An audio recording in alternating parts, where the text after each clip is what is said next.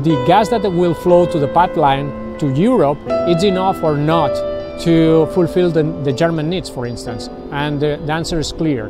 At the uh, um, situation that it's now, even if it is connected, it's not enough for providing uh, enough gas for supply the German needs. The other problem is that that is not from one year to another you get up just uh, pop up the, the, infrastructure. You need to, from six to ten years to build up everything.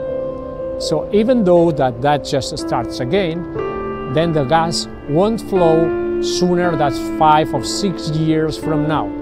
It could be that happen that uh, so and, and really, really, really urgency of having more gas in Europe could just put on the table the investments that uh, are necessary and push pressure to the governments to get an agreement and to build up that in infrastructure. That could happen.